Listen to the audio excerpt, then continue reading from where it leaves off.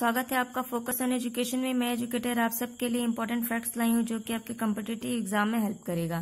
क्या कुछ एक खास चलिए नज़र डालते हैं? आज 4 सितंबर 2020 है। और फ़र्स्ट पॉइंट क्या है? इंदिरा 2020 सैन्य अभ्यास किन दो देशों के बीच में आयोजित किया जा रहा है? तो किन दो देशों के बीच में हो रहा है? भारत और रशिया के बीच में। और ये आयोजित कहाँ पे होगा? ये होगा स्टेट ऑफ़ मलक्का जो कि अंडमान सागर में है। नेक्स्ट पॉइंट क्या है कि किस राज्य ने बिजली चोरी निरोधक पुलिस स्टेशन स्थापित करने का निर्णय लिया है? तो किसने लिया है? उत्तर प्रदेश ने। उत्तर प्रदेश में अभी हाल ही में झांसी में रानी ला, रानी लक्ष्मीबाई कृषि विश्वविद्यालय की स्थापना की गई है। साथ ही साथ आपके व, वल्चर कंजर्वेशन की भी स्थापना कहाँ की गई है? उत्तर प्रदेश में।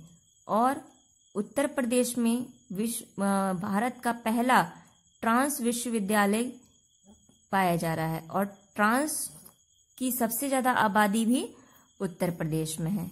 चलिए नेक्स्ट पॉइंट क्या है? ग्लोबल इन्वेस्ट इनोवेशन इंडेक्स 2020 में भारत का क्या स्थान रहा है, जिसे कि हम वीपो द्वारा ये लॉन्च किया गया है। तो अब जो 2020 में रहा, वो 48वां स्थान है। 19 में कब 19 में क्या था? 52 प्लेस पे था। और 2018 में था 57 प्लेस पे।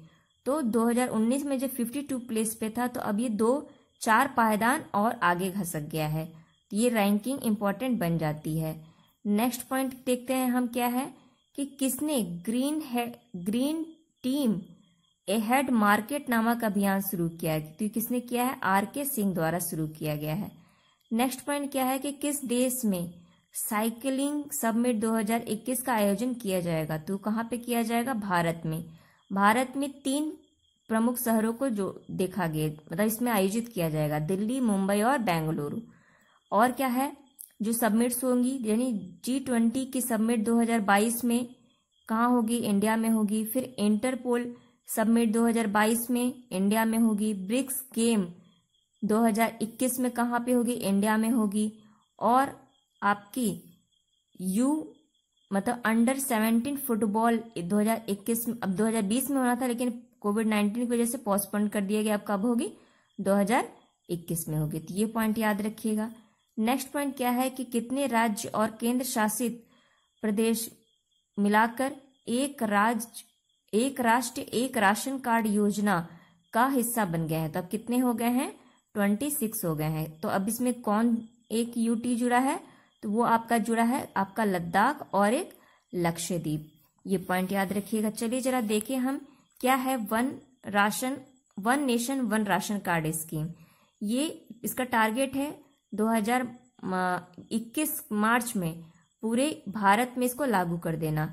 और ये स्टार्ट हुआ था अप्रैल 2018 में।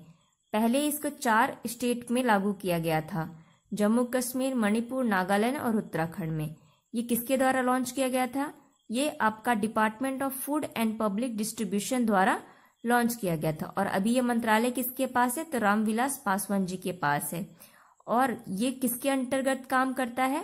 तो ये नेशनल फ़ूड सिक्योरिटी एक्ट 2013 के अंदर ये काम करता है। और अभी टोटल कितने स्टेट और यूटी हो गए हैं मिला के ट्वेंटी सिक्स हो गए हैं।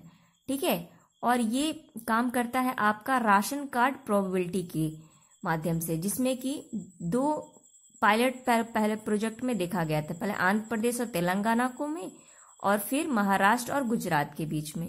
इसमें क्या होता है आस्पिरेंट जैसे कि अभी हम देख रहे हैं कोविड नाइन्टीन की वजह से जो भी माइग्रेंट हैं, ठीक है? इनर माइग्रेंट मतलब आंतरिक प्रवासी है जो एक राज्य से दूसरे राज्य में जाके बसते हैं और अगर अगर जैसे यूपी के कोई मजदूर हैं, ठीक है, और वो श्रमिक हैं, अगर वो एमपी में जाके बस गए एमपी में काम करने के लिए, रोज़गार के लिए चले गए तो वो क्या हो गए? आंतरिक प्रवासी हो गए। अब उनका राशन कार्ड तो यूपी का था, लेकिन अब एमपी में तो उन्हें राशन कार्ड की सुविधा नहीं मिलेगी। मतलब राशन कार्ड में क्या होता है कि बहुत ही कम कम पैसे में आपको भोजन मिल जाता है। तो वहाँ तो नहीं मिलेगा। तो अगर ये स्कीम लागू हो गई एक राष्ट्र, एक राशन कार्ड तो आपको राशन कार्ड एक ही रहेगा और किसी भी राज्य में अगर आप चले जाओगे तो आपको खाना बहुत ही सस्ते दाम पे मिल जाएगा। तो ये इसका काम है। नेक्स्ट पॉइंट क्या है? किस देश के साथ भारत रक्षा, ऊर्जा और आतंकवाद का मुकाबला करने में अपना संबंध स्थापित कर रहा है? तो किसे कर रहा है?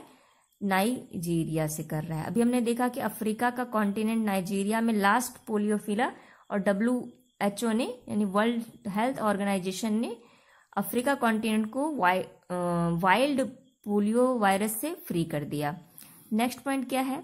किस राज्य सरकार ने गुंडा एक्ट लाया है? तो ये कौन लाया है? गुजरात। ये एंटी सोशल एलिमेंट्स को दूर करने के लिए किया है। नेक्स्ट क्या है इंपॉर्टेंट किस सेना के खेल मंत्री, मंत्रालय बोर्ड को राष्ट्रीय खेल प्रोत्साहन पुरस्कार 2020 से सम्मानित किया गया? तो ये किसे किया गया है? वायुसेना से ये वेरी इंपॉर्टेंट बन जाता है। नेक्स्ट पॉइंट क्या है कि केंद्र ऊर्जा मंत्री ने वीडियो कॉन्फ्रेंस के ज़रिए ग्रीन टीम एहेड मार्केट ठीक है, अभी हमने देखा इसके बारे में, को लॉन्च किया है। तो वो किससे संबंधित है? तो ये आपका इलेक्ट्रिसिटी से संबंधित है, ठीक है? नेक्स्ट पॉइंट क्या है कि किसके, किसने पृथ्वी अवलोकन उपग्रह लॉन्च किया है? तो स्पेस एक्स ने किया है। अभी स्पेस एक्स के सीईओ कौन है? एलन मस्क जो कि तीसरे सबसे बड़े क्या बन गए हैं हमारे? बताइए। ब्लूम्सबर्ग के द्वारा रिचेस्ट पर्सन बन गए हैं। नेक्स्ट पॉइंट क्या है कि 2020-21 तक सबसे अधिक कर्ज ले लेकर कर्ज के बोझ से किस देश पर हो जाएगा। तो कर्ज का बोझ किस पे सबसे ज़्यादा बढ़ रहा है? तो ये कौन है? भारत है। नेक्स्ट पॉइंट क्या है हमारा? कि एक का भारत श्रेष्ठ भारत प्रोग्राम कार्यक्रम के तहत उत्तराखंड को किस राज्य से जोड़ा जा रहा है? तो एक भारत श्रेष्ठ भारत कार्यक्रम के अंदर उत्तराखंड को कर्नाटक से जोड़ा जा रहा है। ये पॉइंट याद रखिएगा। नेक्स्ट क्या है? सीबीडीटी यानी सेंट्रल बोर्ड डायरेक्ट टैक्स के अध्यक्ष के रूप कौन है जिनका छह माह के लिए कार्यकाल बढ़ा दिया गया तो वो कौन है? प्रमोद मोदी जी है। नेक्स्ट हम देखते हैं जरा एक कॉमनवेल्थ नेशन ऑर्गेनाइजेशन को देखते हैं, जिसका हेडक्वार्टर कहाँ है? लंदन यूनाइटेड किंगडम में है। इसके मेंबर कितने हैं? फिफ्टी फोर इसके मेंबर है। अभी रीज्वाइन कौन कर रहा है? मालदीव पहले कर रहा, किया था, फिर छोड़ दिया, फिर अब वापस से कर रहा है। तो अब कितने हो गए? फिफ्टी फोर हो गए। इसकी स्टैब्लिशमेंट में तीन हम डिक्लेरेशन को देखते हैं। एक है बालफोर्ड डिक्लेरेशन एक है आपका स्टेटस ऑफ़ वेस्ट मिनिस्टर और एक है लंदन डिक्लेरेशन इनकी ईयर्स देख लीजिए 1926, 1931 और 1940 इसके हेड कौन होती है? तो क्वीन एलिजाबेथ इसकी हेड होती है। नेक्स्ट पॉइंट क्या है? कि अभी टाइफून आ रहा है। वो उसका नाम क्या है? मैस माइस्का माइस्का नाम है ये किस देश में आएगा? तो ये नॉर्थ कोरिया में आएगा हिट करेगा। नेक्स्ट पॉइंट क्या है कि तीसरा annual leadership submit of U S I S P F यानी US India strategy partnership forum किन दो देशों के बीच में हो रहा है? तो इंडिया यूएसए के बीच में हो रहा है। और इसकी थीम क्या है? US India navigation new challenges और अभी इसके जो पीएम है मतलब हमारे पीएम नरेंद्र मोदी द्वारा इसको स्पीच दिया जा रहा है। ये पॉइंट है। नेक्स्ट पॉइंट क्या है हम एस को जरा देख लें। एस मीटिंग अभी ये कहाँ कंडक्ट कराई जा रही है? तो ये इसका फुल फॉर्म होता है संघाई कोऑपरेशन ऑर्गेनाइजेशन और 2001 में इसका फॉर्मेशन किया गया था। इसका हेडक्वार्टर कहाँ है? तो चाइना के बीजिंग शहर में है। एट कंट्रीज़ इसके मेंबर हैं। China, India, Kazakhstan, Kyrgyzstan, Pakistan, Russia, Tajikistan, Uzbekistan और चार इसके ऑब्जर्वर हैं। नेक्स्ट पॉइंट देखिए। कि इसके सेक्रेटरी जनरल कौन है? तो व्लादिमिर नॉर्वेज के सेक्रेटरी जनरल पहला जो एस सबमिट हुआ था 2001 में, वो चाइना के संघाई में हुआ था। उन्नीसवा जो हुआ 2019 में वो कहाँ हुआ? वो हुआ आपके कजाकिस्तान के बिसक में हुआ। और अभी बीसवा कहाँ हो रहा है? तो ये आपके रशिया के सेंट पीटरबर्ग में हो रहा है। और ऐसा नहीं है कि रशिया में पहली बार हो रहा है तो रशिया पांचवी बार आयोजित करा रहा है, ये पॉइंट याद रखिएगा। पहली बार 2002 में कराया था, फिर तीन, नौ, फिर पंद्रह में कराया था। ये सबमिट हुई थी एससीओ की विथ हेड ऑफ़ स्टेट्स की हुई थी। और हेड ऑफ़ गवर्नमेंट की मीटिंग 2019 में एससीओ की कहाँ हुई थी? ये उज्बेकिस्तान के तास्कन में हुई थी। और इंडिया का 2020 जो होगा, वो इंडिया के नई दिल्ली में होगा। अभी हमारे S C O foreign ministry की मीटिंग हो रही है। तो जिसमें कि जिसमें कि हमारे एक्सटर्नल अफेयर मिनिस्टर कौन है? डॉक्टर एस जयशंकर को बुलाया गया है। और defence, SCO defence ministry meeting 2020 ये भी कहाँ हो रही है? रशिया में हो रही है।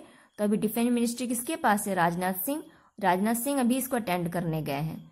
ठीक है? ये इनकी दूसरी मीटिंग राजनाथ सिंह दूसरी बार जा रहे हैं यहाँ पे। एक बार 75 जो एनिवर्सरी मनाई गई थी रशिया में, तब गए थे और एक कब जाएँगे।